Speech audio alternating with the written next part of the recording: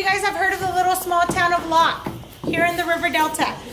So, how many of you guys have visited the small little town of Locke? You live there? Okay, so maybe you can share a little bit more about Locke after Mr. Douglas is all done. So he's going to talk a little bit about, um, you know, how the Chinese um, have been a part of our river delta.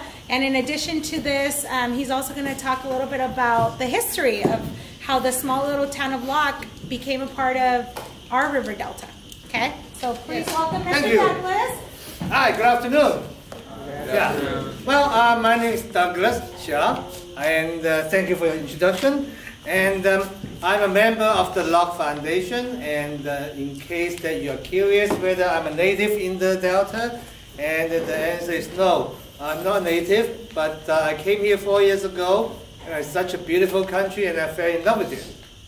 So I'm here to, to share my knowledge of the Chinese in the Delta with you today. And um, uh, before we go into the Chinese in the Delta, maybe I will go into the uh, Chinese history so that you know the country where they come from. And uh, Chinese call themselves Middle Kingdom because they thought they were the center of the universe. And they were inward looking, and for them, the world is China. And sometimes we are a little bit like this in America because we have the World Series. And um, the Chinese history, written history, dates back to 1600 BC. So uh, comes up to today is about 3,600 years. And uh, for your reference, the Roman Empire was founded in 27 BC. The Chinese history, they go down chronologically by dynasty. And each dynasty is last about 100 to 300 years. And um, the, the, the word dynasty is defined as the same ruler of the same family name uh, in the ruling. And that does not apply to the British system because the British monarchy, they do not go by their family name. You have Queen Elizabeth II, you have George V. So basically, uh, the, you cannot apply the dynasties concept to uh, Britain, and but this is what you think. Okay, so it's the same family ruler. They rule for 100 to 300 years, and for whatever reason, and you so it's taken over by another dynasty. Well, uh, there are 24 dynasties, like I said. So uh, I'm not going to go through 24 dynasties with you today because I don't want to scare you away. I just go with uh, the Qin dynasty. Qin is uh, 221 BC. And uh, you are probably familiar with this dynasty because they are the one responsible to build the terracotta soldiers and the Great Wall. Everybody knows about the Great Wall.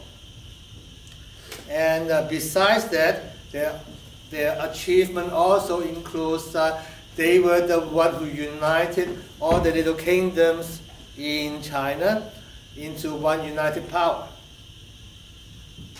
And uh, they also consolidate the language, the measurement system, which is important because even though today uh, many Chinese speak, speak different dialects, but the written language is always the same. And that is uh, attributed to the Qin dynasty efforts. And they are also famous for their tyrannical governing.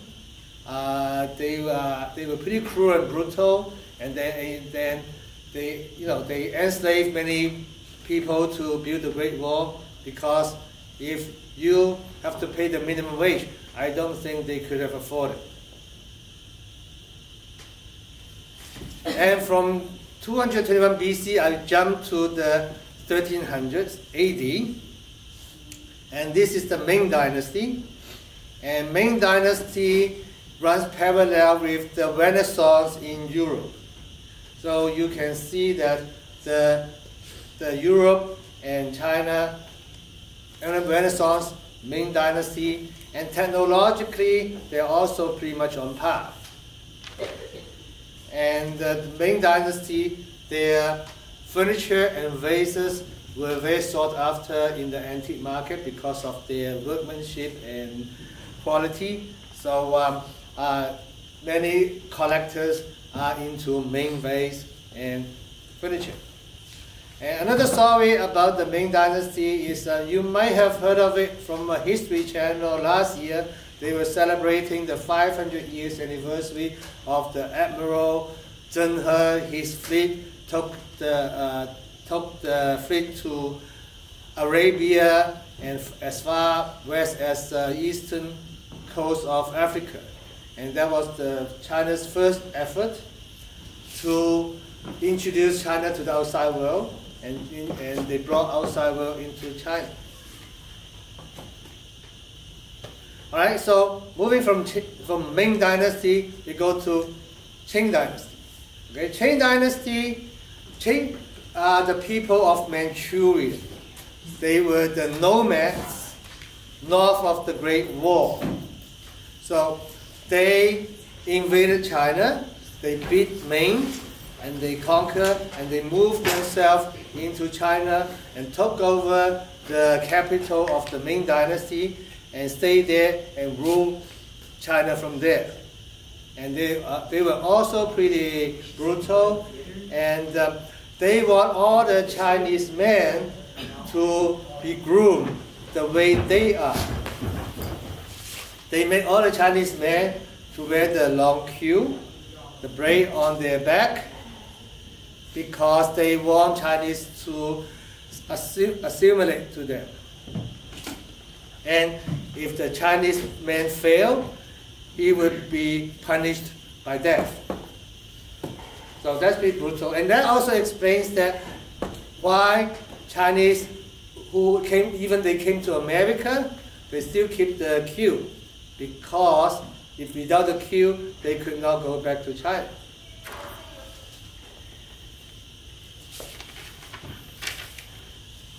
Well, the Qing dynasty, they are not very good governors, and they were the ones who are blamed for letting China falling behind the Western power in technology and military. And uh, they were um, they were very much uh, bullied by the Western power. They make the, the they make the regime give up uh, trading ports and uh, they were made to allow the Chinese people to become opium addict by the British, and then uh, they ceded Hong Kong to the British. So this is the thing that they didn't do well. And uh, um, the Qing dynasty is also the same period that we have the gold rush and the Transcontinental Railroad building. Now, because of the regoverning, they have civil unrest, famine, and it's a very poor condition. And under that regime, people from China, they came out to America to, uh, to, to, make money so that they can send money back to home for, to feed the families. And this regime, they lasted until 1912. And they were overthrown by the revolutionaries. And the, these revolutionaries, they were also partially financed by the Chinese laborer in the Delta here. Okay, so you see there's a nice uh, relationship between Chi Chinese history and American history.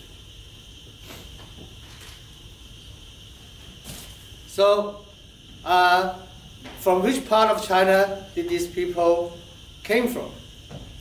Well, just to show you, well, this is the southern tip of China. It's called the Pearl River Delta. And this is where they come from. And this and Beijing is here. So they are 13, 1300 miles apart. And uh, it's a little bit like Italy. Lots of immigrants are coming from Sicily, which is the southern part, southern tip of Italy. Well, um, so during that time, uh, we have the 1848, the gold rush, and the Chinese people, men, predominantly men, uh, they came here they came to look for gold just like everybody else did, and they had initial success.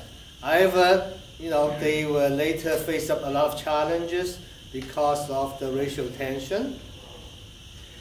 And then in 1950, when California became a free state, and they start talking about building a transcontinental railroad.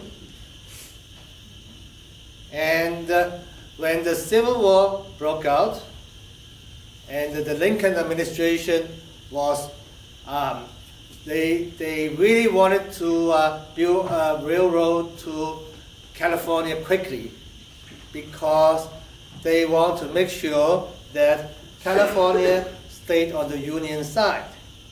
So they wanted to build quickly, and that means they need to, they need the speed. They need the speed, that means they need the laborers. And there weren't enough laborers then, so they looked to China. And the Leland Stanford said if these people, they can build the Great Wall, they can build the railroad. So uh, recruitment was uh, done in China. And uh, like I said previously, because the poor condition of China, these people were happy to uh, join the labor force and came over here.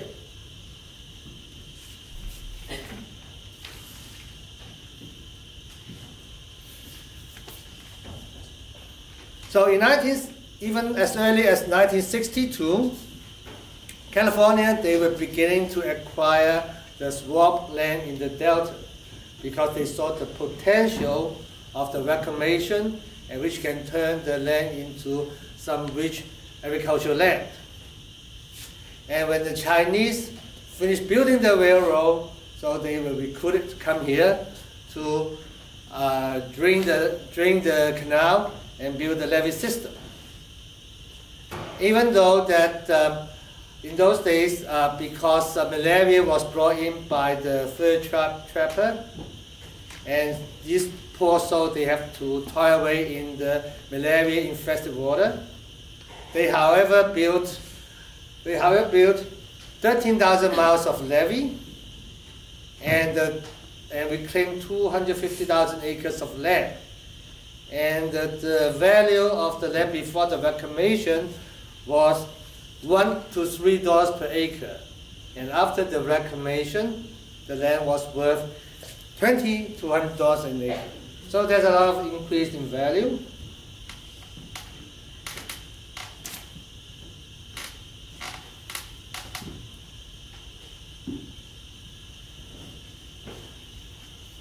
Okay, so after they built the levee and they, the Chinese stay on, they to work on the farm as um, farm laborers.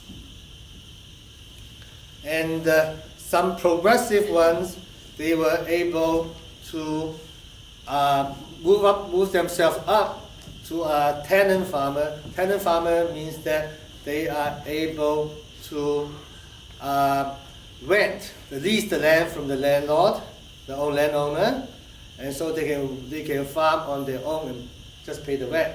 As you may know that uh, Chinese were not allowed to own land at the time because of the, uh, the legislature at the time.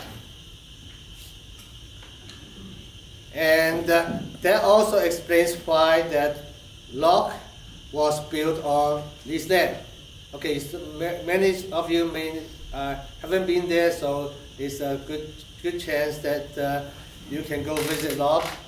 Uh, because on the Saturday, 16th of February, there will be a Chinese New Year celebration, so it would be nice for you to go. anyway, uh, to go back to the topic, um, at the height of the, uh, the anti-Chinese sentiment, um, there was 75% uh, of the labor force was, was still Chinese. So they are uh, a dominant, dominant working force and they were considered reliable industrious, and they are less expensive.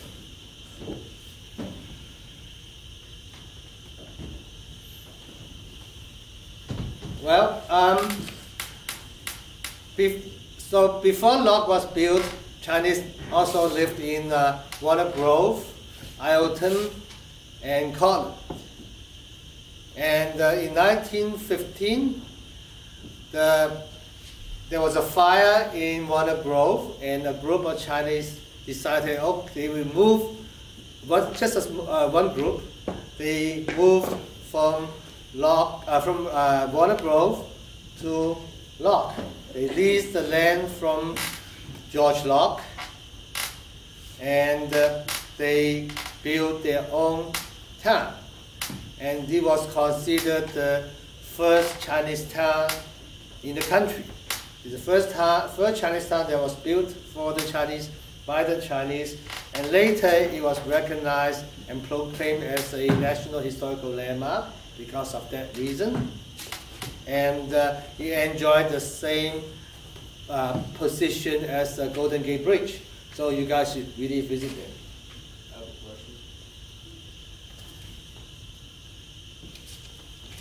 Mr. Douglas. Douglas. You have a question over I have a question.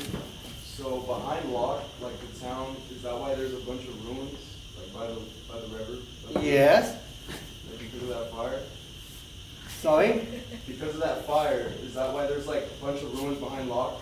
No, no. Uh, okay, the fire was in Walnut Grove. Right. And uh, so they moved to Locke and they, they leased the, they built a small town right next to the levee right? So uh, you are talking about the, the Snodgrass Slough behind it, right? Yeah. So it's just there. I, it's, I mean, we are surrounded by water anyway, right? It's not by design that they want to be near water so that they get enough water to put out fire. Okay, if that's your passion. All right? And, uh, um, well, before before they built the um, they built the Locke, and uh, actually the Chinese have been here for the Chinese have been there for 45 years. So there was a lot of experience, and uh, there's a lot of market. Therefore, they were able to turn uh, Locke in to an overnight success. And um, the heyday of Locke, okay, from 1920s to 1950s, right? There are 600 permanent residents. There are 1,000 plus uh, seasonal workers. They, they will stay in boarding house through, throughout the town. And uh, um, Locke the town serve important basic needs of all the Chinese laborers, people in the Delta.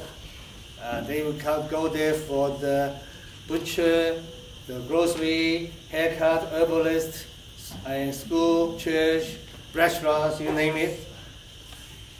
And uh, the politicians and the government official from Sacramento, they also like to frequent Locke for their illegal entertainment establishments because they thought they came, they would go to Locke, they would be, uh, they would go there anonymously and they can enjoy all the vices without being uh, noticed. And um, all these um, establishments, they are vital to the Locke economy. And these establishments include gambling house is always a, a, good money spinner. And then you have the, the brothel, the speakeasy, the open den. Well, um, in the 1950s, uh, then State Attorney General Edmund Brown Sr. Um, he later became the governor.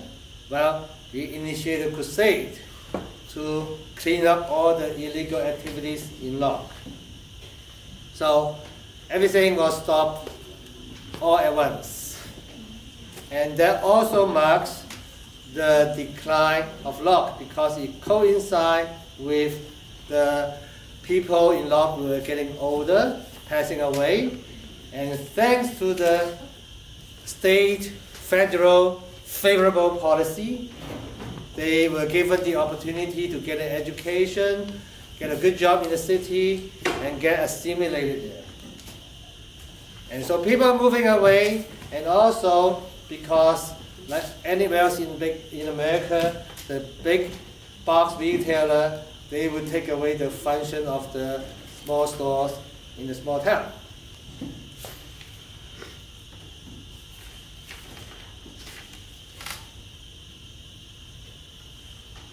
Well, things to remember. Well, the Chinese contributed a major labor force that created the Delta Island and the system. And despite various discriminatory measures, they were able to thrive in the farming and canning industry.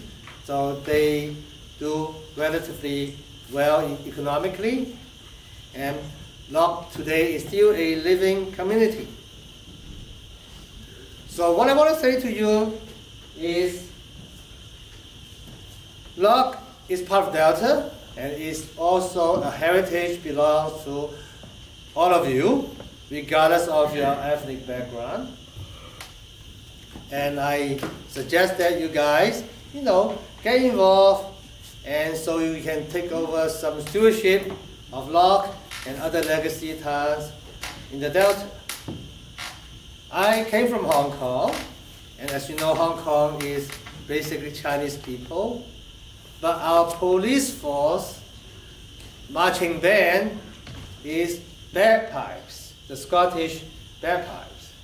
Why? Because we had the British legacy. So even today, Hong Kong is under the rule of China. The Scottish culture was in Hong Kong to stay. So that is that I'm trying to tell you that you know culture can be shared. All right. Now, um, do I have any questions? Okay. Okay. So uh, before you go, I just want to show you that okay, we have the Chinese New Year celebration I mentioned earlier. 16th of February, and come down and visit. But we have programs like this